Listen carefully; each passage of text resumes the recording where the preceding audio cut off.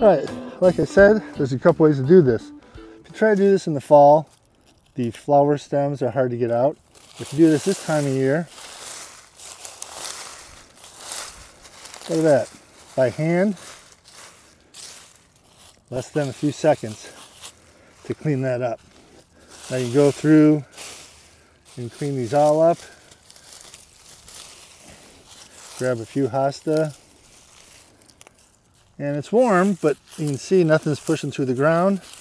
I can do this today because it's, right now it's 50 degrees at like 8.30 in the morning in February, unheard of. But see, you can clean this up, pull these out of here.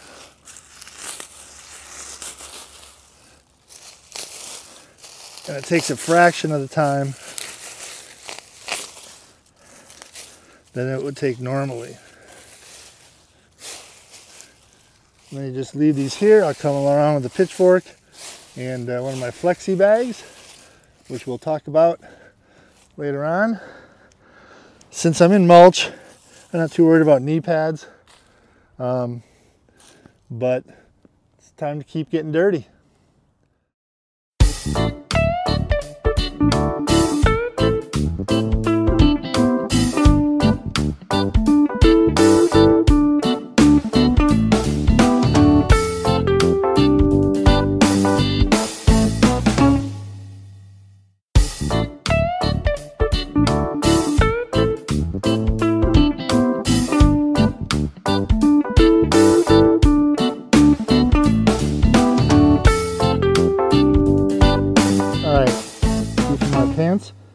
Getting dirty.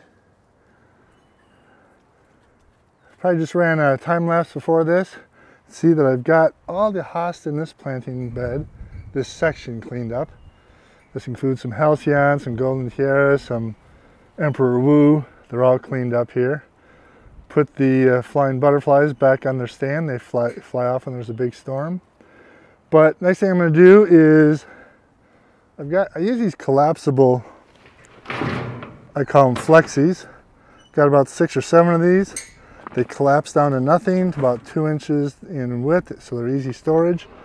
But uh, I'll just bend over and pick up all these piles that I have here. Then I'll put them in the uh, back here and take them down to my compost pile. And uh, then we'll have this planting bed cleaned up. I still got to do the praying hands over there and uh, some daylilies out in uh, uh, Pink Flamingo garden over there, and just a few daylilies in here, and then a bunch of daylilies in back. So I better keep going. All right, the great thing about using these flexies, like I said, is I'm six foot four. Let's put it down there between my legs. Throw it inside. It gets 99% of the plant material I can put in here and I'll go through here and rake one more time. But it's just easier than trying to pick it up and transport it to the wagon.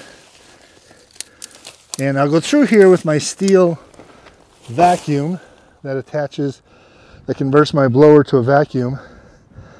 And I'll clean up anything that I haven't picked up now, along with the Astilbe that's over here. I can go through and that Stihl vacuum is great. And remember when you're doing this, when I'm down on my hands and my knees, I always have another hand down so I have three points of contact with the ground.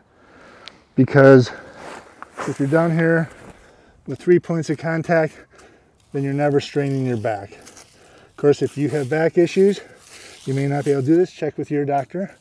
There's my health disclaimer. But I had successful back surgery in 2000 that put me in bed for 30 days, could not move. Finally, Dr. Presper, who I call Dr. Prosper, said, You're too young. At the time, I was uh, probably 20, let's see, I was uh, 45. He said, You're much too young to have back problems. Did a laminectomy. Woke up next day, have not had a pain in the last 24 years.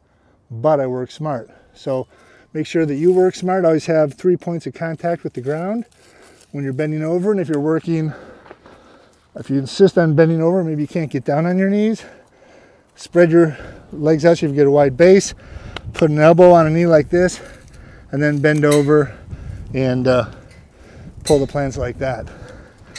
Like I said, I've been doing this business for a long time. I've always found the easiest way to do stuff.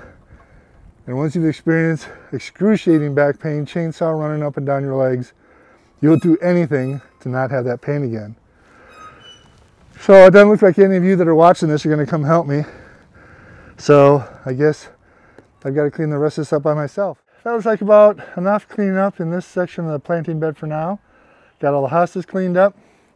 We've got to clean up the praying hands hosta over here. We got some ticked off birds that have been flipping me the feather the last two days because I forgot to clean up or fill up their bird feeders. Got one out there in the island planter.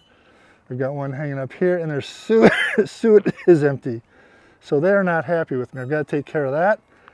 And uh, this first day of spring, this is the second year uh, of doing this by myself. If you've been to Getting Dirty with Glenn.com or watched some other videos, you know that my wife of 34 years passed away in January of 2023 after a two-year battle with uh, stage 4 cancer.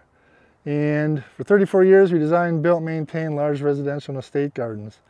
And to not have her out here with me side by side is tough the first year of the first day of spring. So with that being said, remember to lead with love and kindness, and I will see you out in the garden.